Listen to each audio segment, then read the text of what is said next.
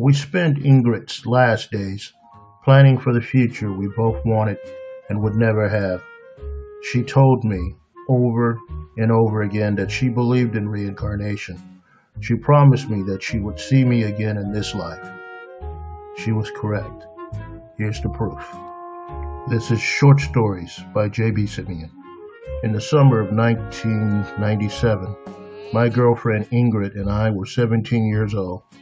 We were in love, and we planned to get married after we graduated Renton High School in June of 1998. I had known Ingrid since the sixth grade. At first, I thought that she didn't like me. She used to tease me and was really mean to me. She actually made me cry a few times. I felt bad because I was really attracted to her, but I was afraid to tell her. One day, when I was really depressed about the situation, my sister told me that Ingrid was being mean to me because she probably secretly liked me. She said that sometimes girls were mean to a guy so that the guy would pay attention to them and seek their approval. She told me to grow a pair and confront Ingrid. The next day, I told Ingrid that I liked her. I asked her to be my girlfriend, and then I quickly kissed her on her lips. I must admit, I was really surprised when she kissed me back and said yes. From that day forward, Ingrid and Paul, me, were a couple. We shared a lot of good and bad stuff. The worst stuff was her battle with leukemia. She was struggling with that disease since she was eight years old. When she was 15, it looked like she had won the battle. At the end of the summer of 1997, we knew that she was losing the war. Ingrid was admitted to Swedish hospital in September. She was dying.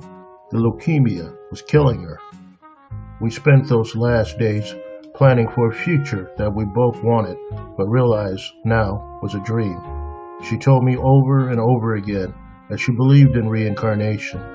She promised me that she would see me again in this life. She said when she came back, we would be married. I could tell that she felt that to be true with all her heart. I felt that it was a beautiful lie. I thought that I would see her in heaven, but I didn't believe I'd ever see her again in this life. She passed away within three days of admission to the hospital. We buried her that same week. I loved her. Her loss destroyed me for a long time. At 22, I found Kelly. We fell in love and we got married. We have two fantastic children. We stayed together for 20 years, then we divorced. It's okay. We still love each other, but we've grown apart. Our needs are different so we decided to restart our lives without each other. When my divorce became final, I took our kids on a vacation to Jamaica. They were in their late teens then. In Jamaica, my kids met some young people on vacation too.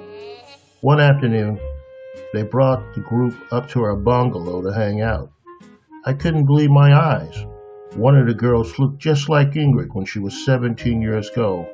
She was an identical copy. I crossed the room to find out who she was. Everyone heard her reply, Paul, I'm Ingrid. I told you I would come back to you. She knocked the air out of me. We sat down to talk. Everyone was listening as she told me about her life as Jill Lancaster. Then she told us about her past life as Ingrid Russell, my old girlfriend. I, of course, had told the kids about Ingrid. I thought that they had found this look-alike and convinced her to play a joke on me. However, as she continued to speak, I realized that she knew details that proved she was Ingrid. Ingrid had reincarnated as she promised.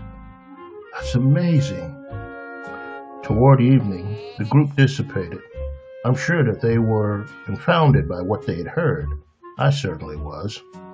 Ingrid and I spent the rest of the day and night talking. I was so excited to have her back. I asked her why she'd not looked me up before then.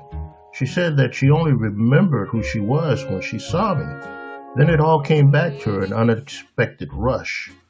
Until that moment, she had no recall of a previous life. She says it had been triggered upon seeing me. I told her that I must look very different. How did she recognize me? She said she didn't know. She was my Ingrid.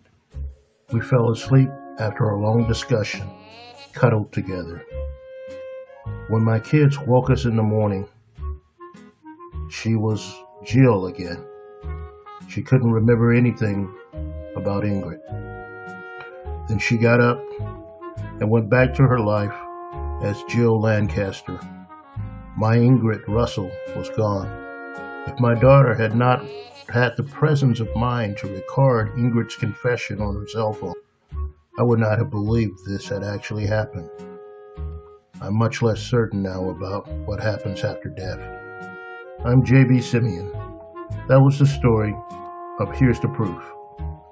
If you enjoyed that story, please click the like symbol below and subscribe to this channel. There will be more stories coming. Thank you and take care.